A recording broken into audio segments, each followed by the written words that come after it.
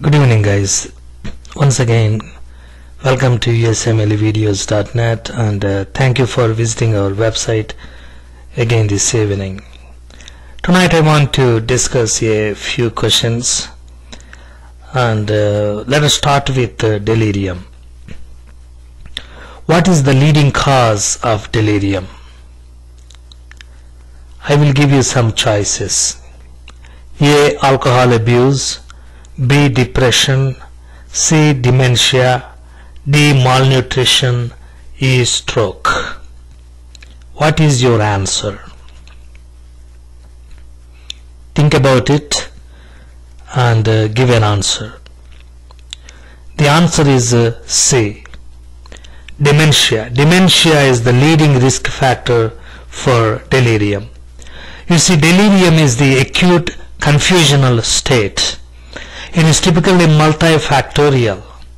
There is uh, an interaction between uh, delirium, development of delirium and, uh, uh, the, uh, and the exposure to the precipitating factors. Now, delirium affects like uh, up to 30% of hospitalized patients who are medically ill. And in some patients like cancer patients, like 25% of them develop delirium. HIV infection, like 40% of them develop delirium. And uh, post-operative patients, like 50% of them develop delirium in the hospitalization. And uh, nursing home residents, especially people older than 75 years, up to 60% of them can develop delirium. But you see, the leading risk factor is dementia because fully two-thirds of delirium occurs in patients with dementia. And dementia it predisposes the brains for the formation of delirium. That's why you should identify delirium in patients with dementia. Whenever you see confusion and agitation you should help these patients because unless you recognize delirium in these patients you are not going to treat them. And many of these patients dementia patients they develop underlying uh, medical problems and later develop delirium. And there are many many now let us go for the next question. What is the initial step in the management of hypercalcemia of malignancy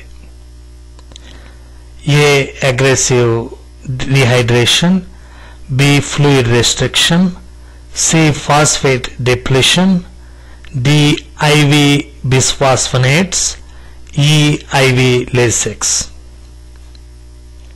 So what is the initial step in the management of hypercalcemia of malignancy? What do you do as the first step?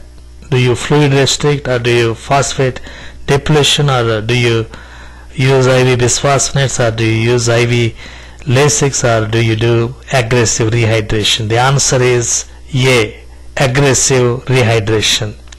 Whenever you see a patient with uh, hypercalcemia you should first start aggressive rehydration. That's the very first step. And then other things should be contemplated like diuresis with furosemide and then phosphorus replacement if hypophosphatemia is present. And uh, you can also use IV bisphosphonates. You can actually give phosphorus replacement if hypophosphatemia is present. So IV bisphosphonates you see we use IV bisphosphonates in the treatment. And uh, usually we use bisphosphonates in the treatment of uh, osteoporosis. Why? Because bisphosphonates they increase the deposition of calcium in the bones. That is the reason. So by using IV bisphosphonates we are decreasing the serum calcium level. In the same way IV Lasix. Lasix it increases the renal excretion of calcium. So you are actually rehydrating patients, giving lot of water then you are also using IV bisphosphonates to remove the calcium from the blood and deposit into the bones then you are using IV Lasix in order to increase the renal excretion of calcium. So the initial step is aggressive rehydration.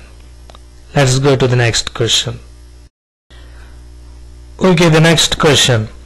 What is the leading cause of death from bariatric surgery?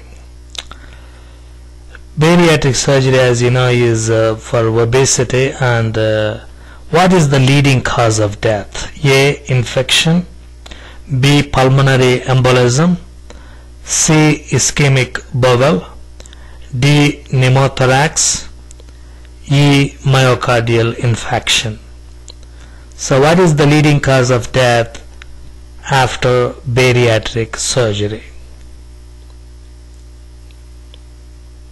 Choose your answer. The answer is B. Pulmonary embolism. According to the International Bariatric Surgery Registry, the leading cause of death following bariatric surgery is pulmonary embolism. That's a thing you need to remember. It's not infection, it's not ischemic bowel, it's not pneumothorax, it's not myocardial infarction, it is pulmonary embolism. Now, what are the indications for bariatric surgery?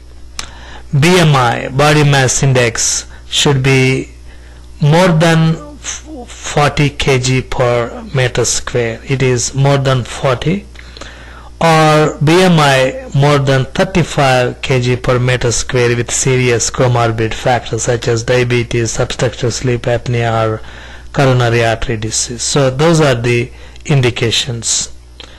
And uh, as a passing we can also actually review the medications for obesity. What are the main medications we have for obesity?